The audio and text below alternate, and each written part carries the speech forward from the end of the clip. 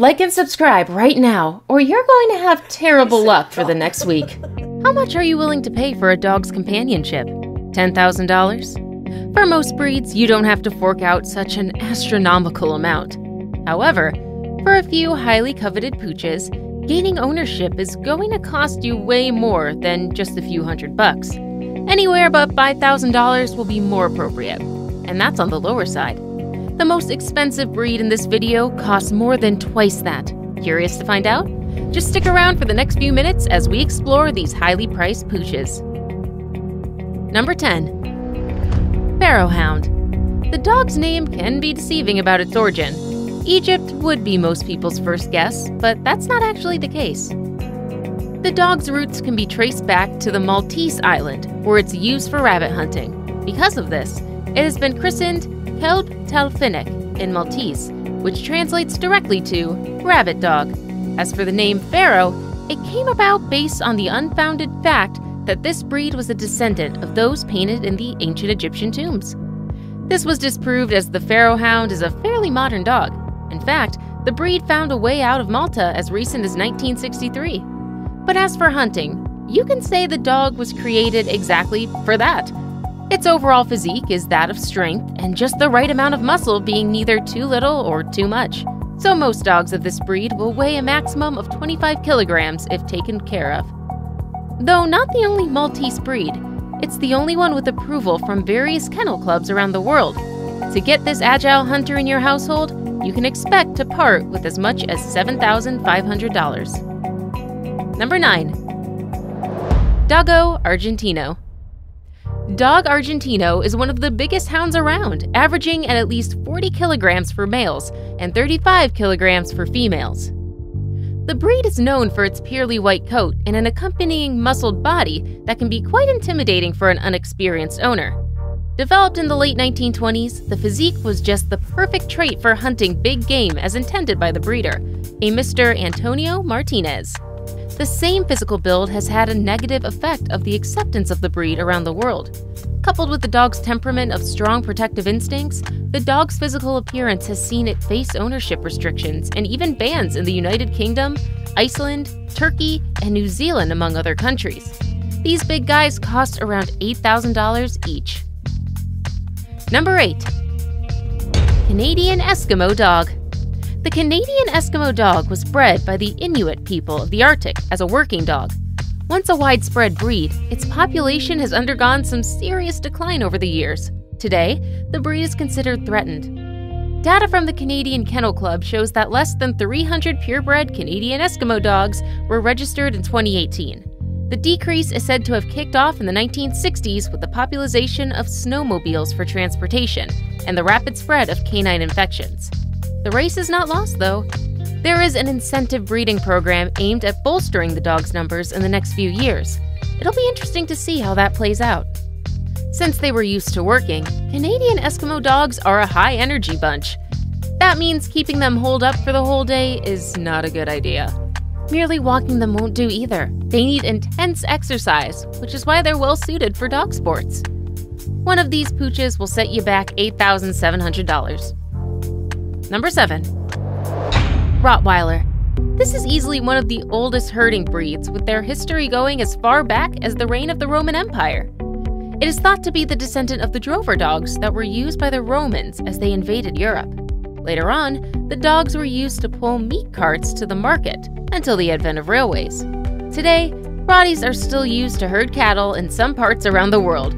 Quite a number have founded other uses serving as guard dogs and in search and rescue operations. All these uses come down to the dog's strong guarding instincts and significant additional strength. These two traits make the breed a risky pet for the slob trainer. Additionally, neglect and abuse tend to bring out the worst in this breed. This has earned it the infamous reputation of being among the most dangerous dogs. That's why you'll find it hard to own a Rottie in some countries such as Portugal, Singapore, and Ireland, where you'll have to jump through several hoops before you're allowed to but that's at least better compared to Ecuador, where it's forbidden by law. But with early on socialization, training, and good care, these dogs make the perfect companions with their natural tendency to protect. A Rottweiler costs about $9,000. Number 6. Azawakh. This ages old breed originated from West Africa and was raised in Burkina Faso, Mali, and Niger. It's usually associated with the nomadic Tuareg, although other ethnic groups do also keep the breed, namely the Hausa and Fula.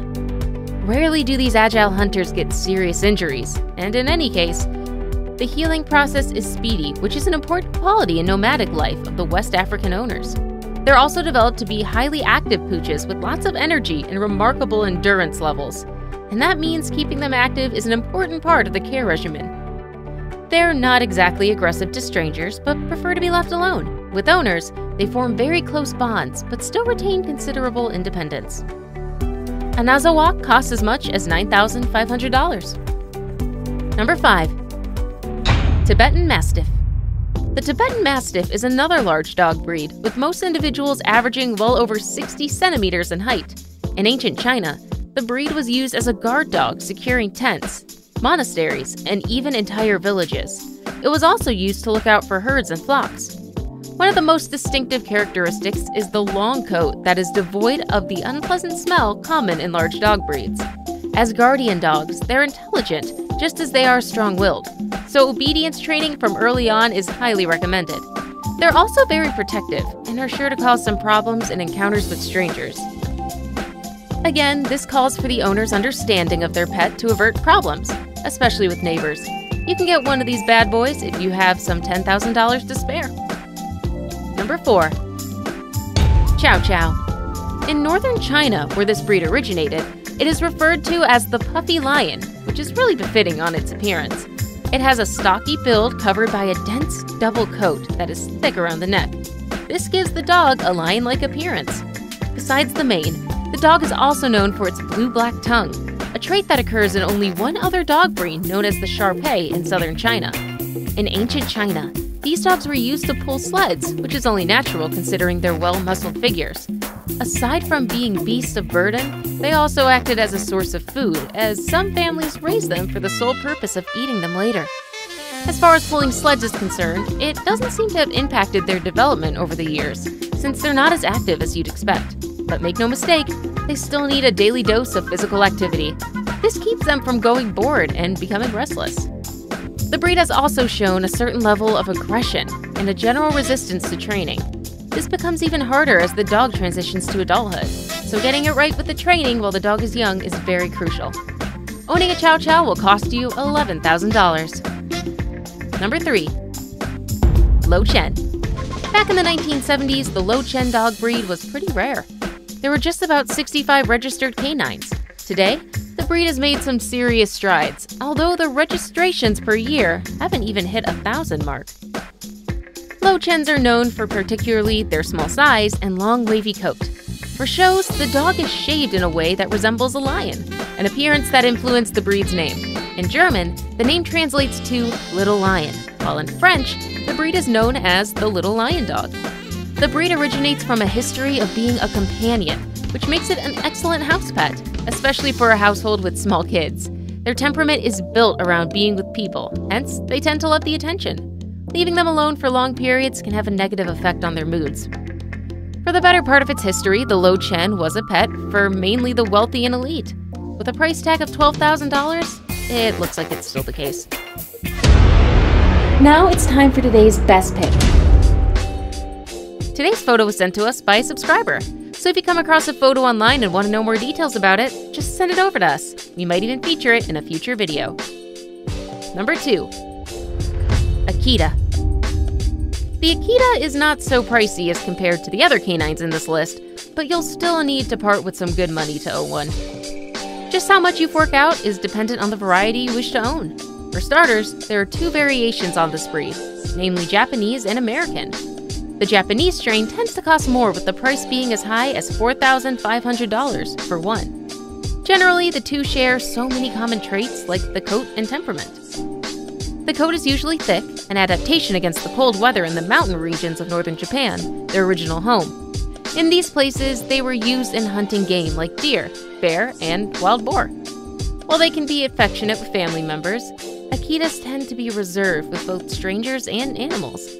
In case of such interaction, they can be quite aggressive if they haven't been well trained. Before we move on, I've got a little challenge for you that'll take 5 seconds to complete. So here's the deal. You just leave a like on this video, smash that subscribe button, and hit the notification bell, and you'll get 25 years of amazing luck. Try it. It really works. Number 1. Samoyed. Top of our list is the Samoyed, with its origin being Siberia. Here, it was bred by the Samoyedic peoples for herding reindeer. But things have changed significantly, and they're now a beloved pet to rich households. They're known especially for the double layer coat, which is more commonly white in color, although biscuit appears regularly. The breed's facial expression is also among the many things that give it considerable affection among dog lovers. At a glance, and this pretty much sums up the breed's temperament, as almost all of them tend to be friendly and rarely aggressive to even strangers. This is why it's perhaps a bad idea to have them as guard dogs, but they can make excellent watchdogs with their barking tendencies. Based on their breeding purpose, it's not the best idea to let them get bored. They'll get digging and become destructive if they don't get that much needed exercise. Typically, a Samoyed costs between $10,000 and $14,000.